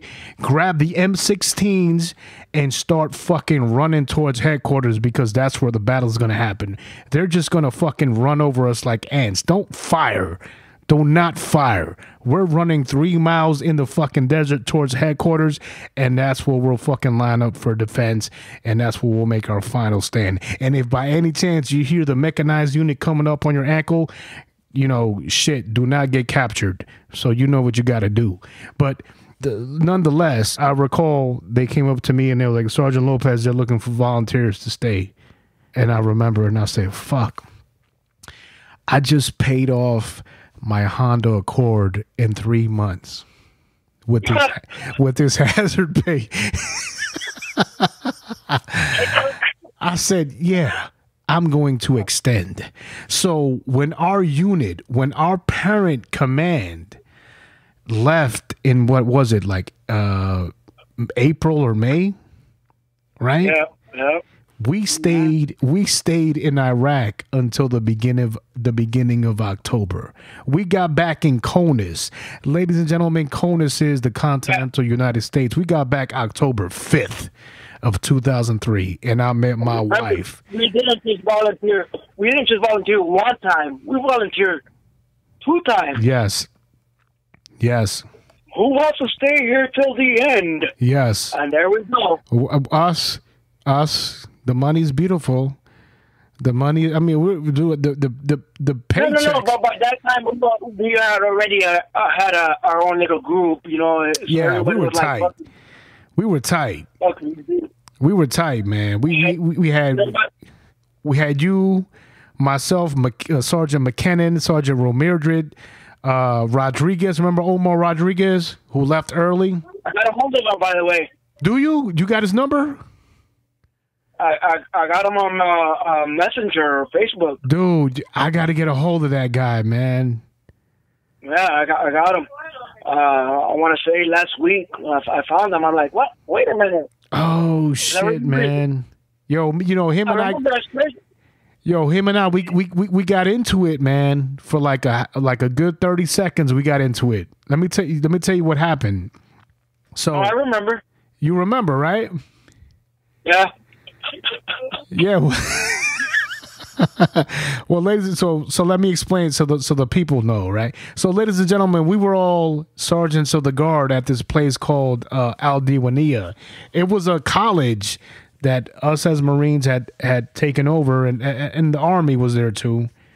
And because we were sergeants of the, of the guards, uh, imagine a 360 perimeter of uh, listening posts and observation posts of Marines, and those are our Marines. But because we're sergeants, we would split our watch within four hours. So, anyways, he went and he checked on his Marines and the, the whole perimeter, and then he comes and he wakes me up, and it's like two o'clock in the morning. So I get up. The last observation listening post that he checked was the first observation post that I checked. So, you know, Marines or Lance Corporals are they think they're slick. You know what I mean? So, you know, they thought, oh well, you know, the sergeant of the guard came. He's probably the next one's not gonna come around till like another, you know, two, three hours. But that was the first fucking post. The last post that he checked was the first post that I checked. And I found those son of a bitches asleep. And I was like, hey, tomorrow morning, come see me. I'ma thrash your ass. Y'all motherfuckers was y'all motherfuckers was snoring and scoring. I got you. I said, listen, Marines, you motherfuckers got to keep your eyeballs awake. The, the enemy is out there, and all you, the only thing that's stopping the enemy from uh, killing us in our sleep are you and his bullshit concertina wire, and that's not enough. So keep your monkey asses awake. Tomorrow, all four of you guys come see me. I got a good thrashing for your ass. And then I went. Yeah, honestly, because of all of our safeties, yeah, you know, yeah, we used to get some pretty good thrashings, didn't we? Mm-hmm. Well, we used to give them, we didn't receive them. but Well, yeah, we're, we're doing our jobs, you know. Absolutely. Yeah. I mean, with the gunny, Yeah, absolutely. So um, I come back from my, from my four you know four hours of, of duty or two hours of duty, and I come back and for whatever reason Rodriguez was up, and I said, "Hey man," and it, it and, and it was it was his fire team, and I said, "Hey man, I caught your boys asleep," and he goes, "Bullshit." I say, "Listen, man, why am I gonna lie to you? I got no reason to lie to you." Nah, Right, you, yeah, you, yeah, I, you, you know, nah, you didn't catch him asleep. I said, well, look, man. I said, well, tomorrow I'm gonna thrash him. He goes, you can't do that. Those are my Marines. I said, well, listen, man. I caught him. I'm gonna discipline him. I said, I'm a sergeant just like you are, right? Yo, those are my Marines, Lopez. First of all, they weren't asleep. I said, okay, listen, I'll tell you what. Tomorrow morning, when they come back and they wake up, why don't you ask them? And if they say yeah, I'm gonna thrash them. And if they say no, I'm gonna, th- thrash them anyways. But I'm telling you, I'm telling you, I caught them asleep. I I said, what? I said, what do you think, man? You think we're here in Iraq and I'm just gonna make up lies just to thrash Marines? I I got better things to do, man. I said, I'm not gonna thrash motherfuckers just to thrash them. And then sure enough, man, the next morning I was still asleep. The motherfucker he tapped me on my shoulder. I woke up and he shook my hand. He goes, Hey man, I'm sorry. He goes, Go ahead, do what you gotta do. I said, Hey man, we cool, man. We cool. you know, yeah, we we take that seriously. mm-hmm. You know what I mean? Well, fuck. I, you know, I used to go out in the middle of the night, and they knew I was coming. Hmm They kept their fucking eyeballs fucking open. Yo, your ass used to go, but your ass was crazy. You used to go, used to go outside the wire. Bro, you used to Yes, go I, yes, out. Yes, you, I did. you used to go out. You could have got Yes, shot. I did. You know what? You could have got shot. Oh, I wasn't, you know, I wasn't even thinking about that. I'm like, fuck, they better challenge me first. Who goes there? No, man, no. Them dumbass Lance corporals would have put holes in you, dog. You was I fucking crazy, man. hey, Yeah, but then you're, hey, I was, I was fucking a sniper, bro. You know, just creeping, creeping on them, finding them. you would be in that Yeah. You would be in that Viet Hey. Cong from Hamburger Hill and shit, man. Sometimes I fucking, I would, I would creep up on them and just sit there and listen. To what the heck? They would be awake. They would be awake. So I'd just be sitting there listening to this. shit. Oh, is that right? And finally, uh, one of them was back on, and it's like, oh shit, there he is. Yeah, the fuck- Hey man, so let's re- let's re- hey man, I know I told you the podcast would go uh to an hour and thirty minutes, but we're dragging on, man. But if I can still keep you on the line for for a, little bit more time, all right, they're gonna Sergeant Molina. So I want to read an award that you were given due to to your performance in Iraq, if you would allow me. To Sergeant Manuel E. Molina, United States Marine Corps, for professional achievement and the superior performance of his duties while serving as Sergeant of the Guard for Security Platoon Force Protection in support of Operation Enduring Freedom, Iraqi Freedom.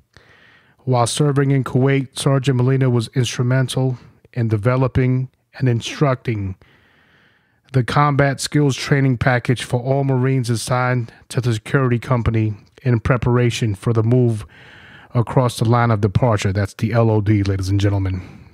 Sergeant Molina was responsible for conducting numerous training sessions on weapon systems and explosives, patrolling, radio procedures, calling for effective fire, and EPW handling. EPW is enemy prisoner of war handling procedures to ensure the Marines were tactically proficient. Once combat operations commenced, Sergeant Molina provided security details for convoy and supervised the layout and fortifications of defense positions, ensuring they had interlocking fields of fire and communications.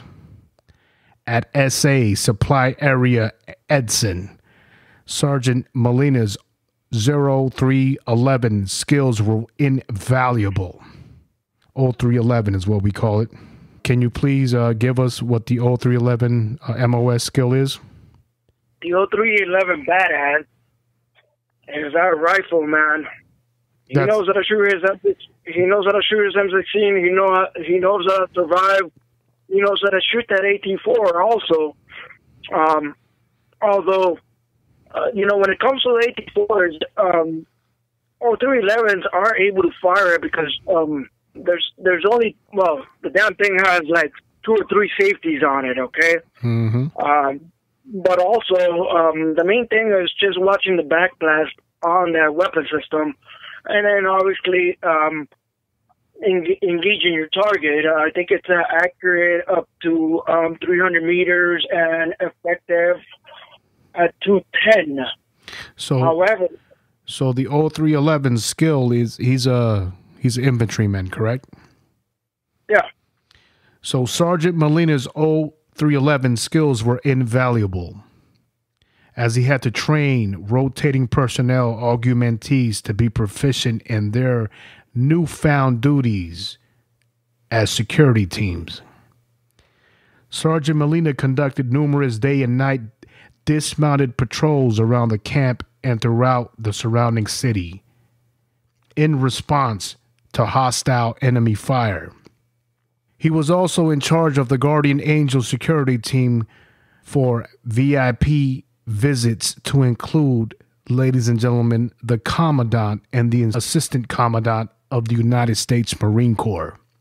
Sergeant Molina's professionalism, initiative, and loyal dedication to duty reflect great credit, credit upon himself and were in high keeping of the highest traditions of the Marine Corps and the United States Naval Service. Given on this day, first day of September of 2003, Colonel J.J. Pomfret, United States Marine Corps commanding. That sounds pretty badass to me, ladies and gentlemen. Pretty badass. Let's talk about, you know, I want to talk about an incident that happened when we were in Camp Coyote. And we we had a run in, not a run in, but we met some of the the British commandos out of Camp Matilda. We we we were at a camp in Kuwait called Camp Coyote. Do you recall that? Yes.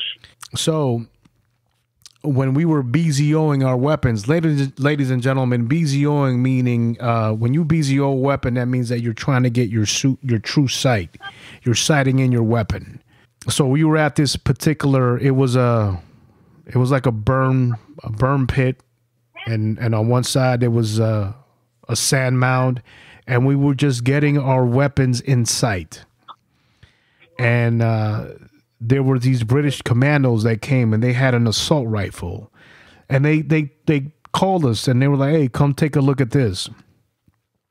And they grabbed their machine gun and they put their machine gun to the side so the port was facing up. And they grabbed a bunch of rocks. And as one held the trigger and was firing, another another com- British commando let the pebbles go in, into the chamber, and the weapon did not. It would not it would continue to fire. It didn't jam. Do you remember that, Manny? You know what? I don't think I was there for that one. Man, it, that that was beautiful. What, what, what weapon system was it? It was a it was a British commando weapon. I don't remember what weapon system oh, it was. So you just watched sand, sand in the chamber, and it still went. Huh? It still went. It went and jammed. We were like, "Oh man, that's beautiful." But you know what else I, I do recall is um, what I do recall is uh, remember getting off the plane when we hit Kuwait. And ladies and gentlemen, when, when we got on the plane, we had all our weapon systems on us. like not we didn't have the big weapon systems. I mean, who's going to go into a fucking plane with a 50 cal or a Mark 19? Uh, but we had M16s, you know, M9 pistols. And I recall as we're getting off the plane, I don't know if, if Molina, if you remember, but um, the stewardess, as we're getting off, the, the the pilots they they came out and they shook every one of our hands, and the stewardess were crying. I don't know if you remember that, but it it I, I felt like, God damn it, don't fucking cry, man. Don't fucking cry. I because I felt like we were going to our death. You know what I'm saying? I was like, oh. I was like, man, don't fucking cry. I was like, it's like my death is guaranteed now, man. And we were only barely getting into Kuwait. Yeah, man, and um, you know, I remember when we we got our orders to march to cross the line of departure, and I believe that was uh the area was uh was called Tampa, right? That was the line of departure, correct? Tampa. Yeah. Was it? Was it? Yeah, I think it was Tampa, right? It sounds familiar. Yeah. yeah. And uh, I remember we didn't sleep. I feel bad for the fucking driver, man, but because because we were in the back of a five ton and we didn't sleep and it was 50-50 and then all we saw were, were smoking tanks. Being back, being back at a five ton, you know what? The only the only thing that I that woke me up uh, let me know that hey, hello, you're at war now was the scuds going over their heads. At that particular time, when we had just gotten there, you know, to the staging area, and they had the uh, scud missile pit on uh, on our left side of where we had staged our vehicles. And I remember when the, all the light went up in the air, you know, and it was up in the sky. Everybody and their mother ran for those uh, um, pits. Pits, yeah. You know, and uh, so we get to the pits, and then uh, there's a couple motherfuckers that don't even have their gas masks. Right. You know, and, and it was like, what do you want me to do about it? You know, I got my shit. You know, Right. La- ladies, ladies and gentlemen, let me let me attempt to paint a picture. We we had moved north from Kuwait into Iraq, and the the trail of us moving was probably well over 24 hours. Probably the first pit stop that we were able to take. Everyone, the vehicles got into what's called a herringbone formation. So that means the first vehicle in front of you goes to the left, the second vehicle goes to the right, and everyone got out. And the first thing that they did was uh, we had these ammunition cans. They're made of wood, and we start making these little cat holes in the sand. And there's Marines to your left, and there's Marines to your right, and everyone starts taking a shit. Because you've been you've been holding this shit for over fucking 24 hours. And everyone I mean no one has n- listen first of all when you go through Marine Corps boot camp you take a shit in front of yourselves anyway. So this right here wasn't nothing new. I remember seeing some fucking gunnery sergeant with a toilet seat attached to his Alice pack. And I was like look at this fucking dumb shit Little did I know this motherfucker probably had a combat action ribbon and had already been deployed to somewhere and in, in, in motherfucking Grenada, Grenada, or, or Panama, or you know what I mean. But this fucking this motherfucker was a salty devil dog and had some experience, and he knew that those You need to bring his seat. yes, that motherfucker was prepared. And as soon as we got out, out off the fucking trucks, everyone went to go take a shit, and and you know some of the Marines were providing uh, security, and then and motherfuckers like yo hurry up man. I got to take a shit too, and you quickly realize the Marine with baby wipes, baby powder, uh, shampoo, and deodorant was God that motherfucker could get any MRE that he wanted just by saying, "Okay, I'll, I'll give you, I'll give you four baby wipes for that fucking uh, spaghetti and you know meat sauce fucking MRE." They were fucking. Hon- honestly, you know, um, well, I had already had experience uh, with dealing with uh, Marines that had habit, you know, like Copenhagen, Mm. uh, cigarettes. Uh, so yeah, you, you We're, can we're gonna get into that too. Been- We're, we're gonna get into that. How we no because go ahead? well, shit. I'm, I'm bringing it up now because you know I uh, I've been on ship, and that's what happens on ship. And ship is not that long. Mm-hmm. Uh, You know what I mean? You're, uh, at the most, it's going to be 30 days or m- maybe 60. Mm-hmm. But people uh, people run out of their product, you Mhm. know, and that you know, I commend. You know, Do- um, Do, do, Copenhagen, what? Absolutely. Five dollars in the state? yep. Nope. Absolutely. Twenty bucks out here. Yeah, absolutely. Ladies and gentlemen, we were convoy security, uh, uh, force protection. So part of our job was to provide security for these provision vehicles. And these vehicles, whether they had food, water, gasoline, uh, whatever have you, we would be the unit in the front, in the middle, and in the rear, whether it was a 240 Golf or a 50 cal. So we had capacity of going north and south of, of the battle zone. This is So this is before before IEDs were implemented. the theater because, um, yeah, we didn't have no uh, armored vehicles. We rolled with our weapons pointed outboard, Yes. and just just just to let let the peeps know where you know where we're at. Right. This was this was 2003. This is this is March. March, April of 2003, ladies and gentlemen. This is way before the IEDs even the daisy chain tactics even came into effect. But you remember you and I and Ramirdred came up with a plan where we were we were at S.A. Anderson and we decided to put our money together and we took a convoy from S.A. Anderson back down to Camp Viper to the mobile PX and we probably bought uh, $250 worth of tobacco, smoking and chewing, and we brought it up uh, to S.A. Anderson, and we made a killing. You recall? dude. I, I, well, well, you know, because of our liberty of uh, being able to uh, move from Iraq into Kuwait and, and stuff like that, um, we were able to acquire, um, you know, certain things that were a commodity for uh, our troops back in the uh, in the rear. including including liquor, Yes, sir. Absolutely. including liquor, man. So we we we quickly became uh, the underground network. Let's go back to uh, the to the first night of the Scud attacks, man. So, ladies and gentlemen, we have been driving up north for over 24 hours into Iraq. To the left and to the right of us, there just there's blown up fucking tanks.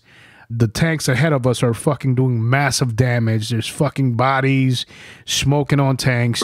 We finally get out. We take a dump. We take a shit, and then we come to uh, a stopping point. And within this stopping point, I mean, it's massive, ladies and gentlemen. I mean, when the convoy was was moving north, you could not see, you could not see the. If you look to the front, all you could see is brake lights. If you look to the rear, all you could see is headlights. You could not see where that convoy stopped and where that convoy ended. It was that massive. It was huge. That is. Yes. The Operation uh, Rolling Thunder. Damn. All that fucking does. Yes. It was fucking huge. And you felt You know, the only, the, the only story that I got out of there was uh, Staff Sergeant Allen. Um, because of the um, cloud of dust, his driver ended up running into another vehicle to where um, the engine was pretty much on his lap, and the driver died, by the way. oh no shit. This motherfucker was evac, right? Went to the hospital or sitting at the hospital, and he says, "Fuck no, I'm a fucking marine and I'm a grunt and I need to be out there with my troops." And you know what? Damn, Damn. I will fucking bow down to this motherfucker because you know what he did? Mm. He started making his way towards us. How? Hitchhiking, catching planes. Eventually, he made it. Wow. Well, against Marine Corps policy, though. Mm. What are they gonna say though? You know what I'm saying? Like, fuck, Yeah. he did it. That's a true motherfucking warhorse right there for your ass, man. Yeah, A true oh yeah, that's a word. a true word. a true fucking leatherneck for your fucking ass right there. A true marine. Hitchhiked his hitchhiked his way back to combat. Oh yeah, How you like that? How you Staff like that? Sergeant Allen. You know Staff Sergeant Allen. He was there at the school with us. Absolutely. How you like that? Listen, so we're there, and then we we we, we set in this massive convoy.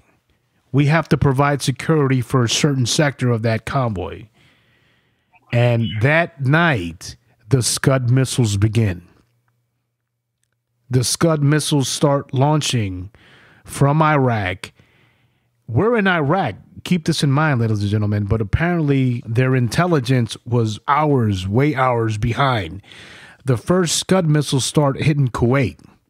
So a couple of missiles hit some of the the points, uh, the camps that that were in Kuwait. I don't know if any uh, massive casualties were, were caused because of it. And then they started getting closer, but their intelligence was way off. And every time you would attempt to go to sleep, maybe 20 minutes would pass, and then another two or three Scud missiles would be launched. So then, you know, you would have to run into this big pit. So for the whole evening, every 20 to 30 to 35 minutes, you would have to get up and run. You got no, we got no sleep that night. And then uh, from the south, you would see I ano- sit in the pit. yeah. So from the south, you would see another. You would see afterburners of of the Patriot missile, and in in the top twelve o'clock position, you would see this big explosion of like light starburst, and it was the Patriot missile hitting the Scud missile, and motherfucking Marines would go fucking bananas and go crazy, and and we were exhausted, but knowing that the Patriot missiles were hitting these Scud missiles and you could see the explosion, it gave us an adrenaline rush. And um, the very, I mean, the, the, the battery of Scud missiles happened uh, well into the afternoon of the next day, where uh, I had a corporal in my fire team, and him and I were underneath a five ton because it was so hot. We were trying to get some shade, and then we we just see Marines running, but no nobody's saying nothing. So him and I, we grab our M16s, and you know we just we just start running along. We're like, well, shit, everyone's running. But nobody's saying shit, and we're not asking anybody, hey, what's going on, you know? And we just start running, and then he goes to a Marine, hey, man, why are we running? and then he goes, fucking another scud attack. And then we look up, and even in the light of day, in the blue sky, you could see you could see the afterburner burst of a scud missile. And I remember that particular day, it was hot as fuck. We're in these charcoal green suits. I don't know why. Who the fuck was the logistic officer that decides to give Marines in Iraq in a desert environment green woodland fucking camouflage? Uh, uh, wait a minute. NBC I was suits. the only fucking asshole that was wearing the the fucking desert shit. Listen, I was the only asshole wearing desert shirt. Uh, you know what? I was a fucking target the whole time I was out there. this guy knows what the fuck's going on. Kill him. listen. So I remember we're getting we're getting so the whole night we've been we get we've been getting scud attacked onto the the mid morning of the next day. It's like twelve o'clock in the afternoon. It's hot as fuck. We're in the middle of the Iraqi desert. And then these Scud missiles are coming in and we're fucking running. We put I put my gas mask on and to the front of me I see I see my my buddy. I'm thinking to myself, man, I'm going to fucking die amongst a bunch of stinky ass Marines. I'm like, fuck, dude, this is the way I'm gonna go out, man. Fuck. And um, well, it, it, it you know, we didn't die. And then we we got in our unit, we got in our vehicles. We kept pushing forth. We kept pushing north. We got we got to Camp Viper. Camp Viper. We we we we came in contact with one of the most prolific sandstorms that happened in Iraq within the last fifty fucking years. You remember that shit? Yep. My nostrils were fucking clogged the fuck up. Ears were clogged up. Eyeballs were clogged up. And do You you and do you cameras, and, all our machinery was all fucked up. and do you- and do you recall in the middle of that there was supposed to be a mechanized unit that was coming our way to attack us? You remember that? Mm, Absolutely, man. Everybody was, you know, we got everybody on the pro and shit, just anticipating the shit to fucking happen. But you know what? At the end of the day, yeah, we would have been fucked. Uh, we had a, we had a couple AT4s scattered around, but still, you know, because that uh, that was one of the main things. You know, hey, AT4 here, AT4 there, AT4 there. You know what I'm saying? And, and that was it. Everybody lay laid down on the prone and and, and wait for the, the the shit to come at us.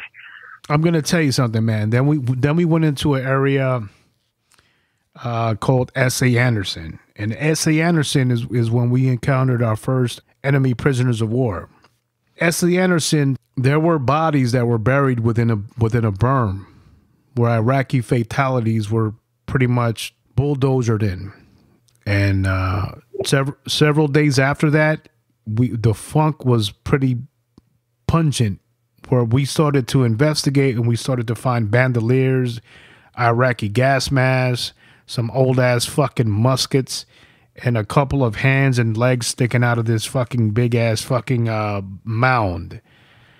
And um, I'd say maybe three, four day, days later after that, there was a, a group of Iraqi families that were marching down that highway that we were protecting, asking uh, they were asking if they could uh, retreat their families' bodies. You remember that? I do recall something like that. Yes.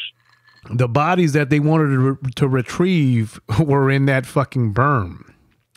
And then the E. You, do you recall us uh, uh, grabbing EPWs and putting them in, in, within the concertina wire and feeding them uh, feeding them canned beans? You remember that? Oh yeah. That shit was crazy. I remember. That was, that was one of our main responsibilities was to uh, be uh, guard dogs for the prisoners and and be prisoners of war. Yeah. Well, it, it's fucked up. Uh, I, I will say that it's fucked up. Well, some of the guys that were in there, they were just innocent motherfuckers. Wrong place, wrong time. hmm Other motherfuckers were in there because, yeah, they actually um, contributed contributed to um, or acted upon, you know, killing uh, military troops Yeah. whether it be uh, uh, shooting at us with rifles or or or even more. Yeah, man. Uh, you, you know what's funny is that when I was talking to um, to Farrell, Sergeant Farrell, man, you, there was a water point, and at that water point, a couple a couple of bodies ended up getting dragged out out of that water sector. It was like a pond. I don't know if you remember, but it, within that pond, we ended up um, swimming in that shit. Do you remember? It, Yep. was, it wasn't too far from where our, our camp location was, man. But a couple of bodies ended up getting fucking pulled out of there. And nobody ever wanted to go down all the way down to the bottom. Yeah, yeah, I'm sure there were some bodies, uh, some Iraqi casualties in that shit. Um, it's funny too, man, because uh, one of my Marines inside my my fire team was uh, Lance Corporal Simpson, and him and I we we had the the watch at uh, two o'clock in the morning, and I had my NVGs on, my night vision goggles, and he starts and we we start um going past the berm where all these Iraqi ba- uh, bodies or uh, enemy combatants who are dead are, are covered, and he starts to ask me, "Hey, Sergeant Lopez, uh, hey, you, do you believe in ghosts?" And I'm like, "Hey, man, don't fuck. It's two o'clock in the morning. It, it is, and there's fucking." There's like there has to be sixty dead bodies in that fucking berm. Don't fucking don't. All right, guys, we're gonna leave chapter fifty, the first part of this interview. We're gonna leave it off right here. We will be back soon, so you guys can listen to the second part of this interview with Gunnery Sergeant Manny Manuel Molina. Thank you guys for listening. Once again, this is DJ Architech. Love you guys. The chapter of the Architech, chapter 50. DJ Architech out. DJ Architech. Architech.